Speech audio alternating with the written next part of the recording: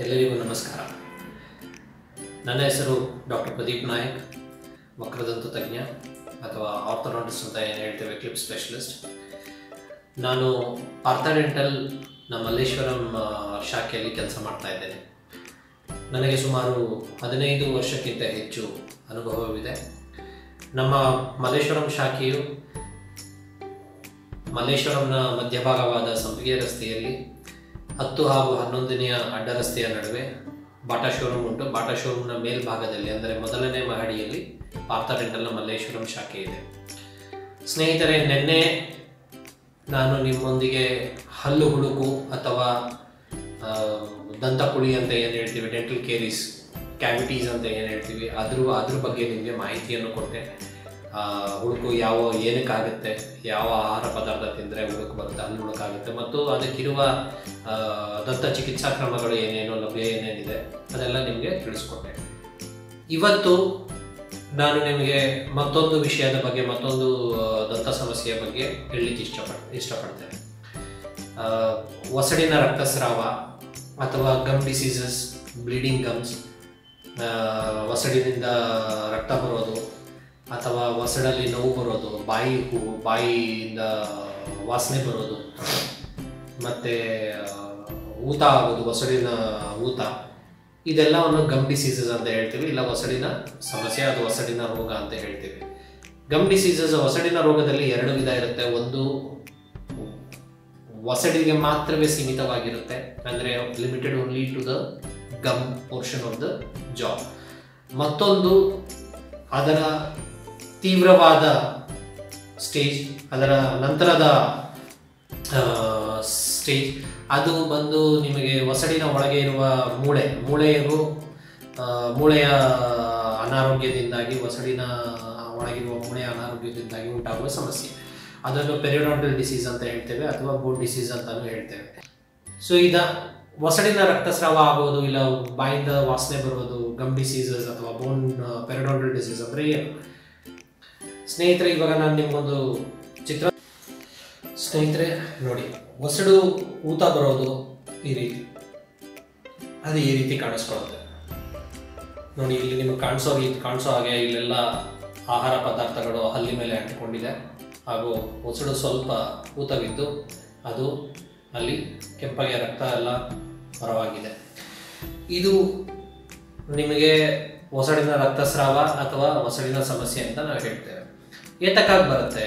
ಒಸಡಿನ ಮೇಲೆ ನೀವು ನೀವು ಆಹಾರ ಪದಾರ್ಥವನ್ನು ಸೇವಿಸಿದಾಗ, ಸರಿಯಾಗಿ ಹಲ್ಲು ಬ್ರಷ್ ಮಾಡದಲ್ಲೇ ಇದ್ದ, ಹಲ್ಲು ತಿಕ್ಕದಲ್ಲೇ ಇದ್ದಾಗ ಏನಾಗುತ್ತೆ? ಆಹಾರ ಕಣಗಳೆಲ್ಲ ಹಲ್ಲಿನ ಮೇಲೆ ಕುಳಿತು ಒಸಡು ಹಾಗೂ ಹಲ್ಲಿನ ಬಾರ್ಡರ್ ಅಂತ ಏನು ಹೇಳ್ತೇವೆ? ಅಲ್ಲಿ ಕುಳಿತು, ಸಿಲುಕಿ, ಅದು ಕ್ರಮೇಣವಾಗಿ ಸರಿಯಾಗಿ ಹಲ್ಲು ತಿಕ್ಕದಲ್ಲೇ ಇದ್ದಾಗ, ಕ್ರಮೇಣವಾಗಿ ಕ್ರಿಮಿಕೀಟಗಳಿಗೆ, ಆ ಸ್ಥಾನವನ್ನು ಮಾಡಿಕೊಂಡು ಆ ಕ್ರಿಮಿಕೀಟಗಳು ಏನು ಮಾಡುತ್ತೆ? ಒಸಡನ್ನು ಮತ್ತೊಮ್ಮೆ ರೋಗ ರೋಗಗ್ರಸ್ತನಾಗಿ ಮಾಡುತ್ತೆ. ಇದರಿಂದಾಗಿ ಒಸಡಿನ ಊತ ಬರೋದು, ಒಸಡು ಸ್ವಲ್ಪ ಸವಿಯೋದು, ಒಸಡಿನ ಹೈಟ್ ಅಂತ ಏನು ಹೇಳ್ತೀವಿ, ಒಸಡು ಲೆವೆಲ್ ಸ್ವಲ್ಪ ಕಮ್ಮಿ ಆಗೋದು, ಇದೆಲ್ಲ ಆಗೋದು ಸಹಜ. ಇದರಿಂದ ಏನಾಗುತ್ತೆ, ಇದರಿಂದ ಬಾಯಿ ವಾಸನೆ ಬರೋದು ಹಲ್ಲು ತಿಕ್ಕಿದಾಗ ಒಸಡಿಂದ ರಕ್ತ ಬರೋದು, ಇದೆಲ್ಲ ಆಗ್ಲಿಕ್ಕೆ ಶುರು ಆಗುತ್ತೆ. ಇದರಲ್ಲಿ ಹಲವು ಸ್ಟೇಜ್ಗಳುಂಟು. ಆ ಸ್ಟೇಜ್ ಯಾವುದು ಅಂತ ನಾನು ಇವಾಗ ನಿಮಗೆ ಹೇಳ್ತೇನೆ. ನೋಡಿ, ಇಲ್ಲಿ ನಿಮಗೆ ಕಾಣಿಸೋ ರೀತಿ ಇದು ಶುರುವಿನಲ್ಲಿ ಹಲ್ಲು ನಮ್ಮದು ಒಸಡು ಈ ರೀತಿ ಇದ್ದಾಗ ಹಲ್ಲಿರುತ್ತೆ ಹಲ್ಲು ಸುತ್ತಲೂ ಒಸಡು ಇರುತ್ತೆ. ಆ ಒಸಡು ಈ ರೀತಿ ಇದ್ದಾಗ, ಸ್ವಲ್ಪ ಕೆಂಪಗೆ ಆಗಲಿಕ್ಕೆ ಶುರು ಆದಾಗ ಸ್ವಲ್ಪ ಆಹಾರ ಪದಾರ್ಥಗಳು, ಆಹಾರ ಕಣಗಳು ಹಲ್ಲಿನ ಹಲ್ಲಿನ ಮೇಲೆ ಕೂತ್ಕೊಳ್ಳೋಕೆ ಶುರು ಮಾಡಿದಾಗ, ಸ್ವಲ್ಪ ಈ ರೀತಿ ಕೆಂಪಗೆ ಆಗ್ಲಿಕ್ಕೆ ಶುರು ಆಗುತ್ತೆ.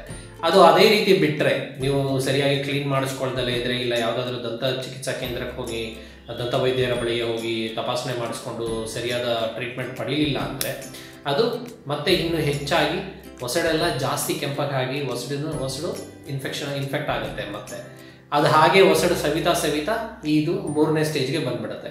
ಮೂರನೇ ಸ್ಟೇಜಿಗೆ ಬರ ಬರ ಬರ ಅಷ್ಟೇ ಎರಡನೇ, ಎರಡು ಮತ್ತು ಮೂರನೇ ಸ್ಟೇಜಲ್ಲಿ ಈ ಥರ ಚಕ್ಕೆ ಚಕ್ಕೆ ಥರ ಪದರಗಳು ಬೆಳೆಯಕ್ಕೆ ಶುರು ಆಗುತ್ತೆ ಹಲ್ ಮೇಲೆ ಹಾಗೂ ಒಸಡಿನ ಮೇಲೆ. ಇದು ಮೂರು ಸ್ಟೇಜ್ಗಳು ಈ ಮೊದಲಿನ ಸ್ಟೇಜ್ ನಾನು ಏನು ಹೇಳ್ಕೊಟ್ಟು ಹೇಳಿದೆ, ಅದರಲ್ಲಿ ನಿಮಗೆ ಏನಾಗುತ್ತೆ ಅಂದರೆ ನಾವು ಹಲ್ಲನ್ನು ಸಾಮಾನ್ಯವಾಗಿ ಕ್ಲೀನ್ ಮಾಡಿಸುವ ರೀತಿ ಸರಿಯಾಗಿ ಕ್ಲೀನ್ ಮಾಡ್ದಲೇ ಇದ್ದಾಗ ಅದೆಲ್ಲ ಪದರ ಥರ ಕಟ್ಕೊಂಡು ಅದನ್ನು ನಾವು ಪ್ಲಾಕ್ ಅಂತ ಹೇಳ್ತೇವೆ.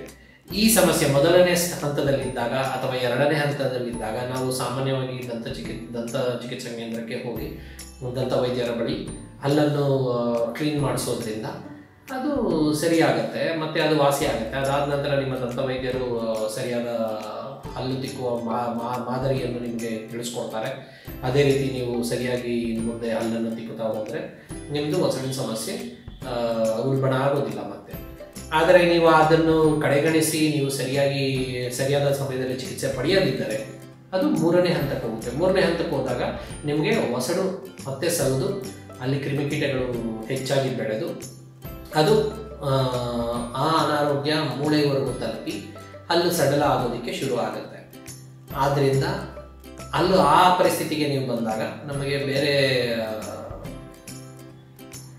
ಪ್ರಾಬ್ಲಮ್ ಬೇರೆ ಬೇರೆ ಪ್ರಾಬ್ಲಮ್ಗಳು ಆಗಕ್ಕೆ ಶುರು ಆಗುತ್ತೆ. ಇದರಿಂದಾಗಿ ನಾವು ನಿಮಗೆ ಗಮ್ ಸರ್ಜರಿ ಮಾಡಬೇಕಾಗಿರುತ್ತೆ ಫ್ಲಾಪ್ ಸರ್ಜರಿ ಅಂತ ಇದೆ. ಸೊ ಇವೆಲ್ಲ ಹಲವು ರೀತಿಯಾದ ಚಿಕಿತ್ಸಾ ಕ್ರಮಗಳು ಉಂಟು. ಸೊ ಇದೆಲ್ಲ ಈ- ಈ ರೀತಿಯಾದ ಚಿಕಿತ್ಸಾ ಕ್ರಮಗಳನ್ನು ಮಾಡಿ ಕೂಡ ನಾವು ಹಲ್ಲನ್ನು ಹಲ್ಲನ್ನು ನಾವು ನಿಮಗೆ ಉಳಿಸ್, ಉಳಿಸ್ಕೊಡ್ಬಹುದು.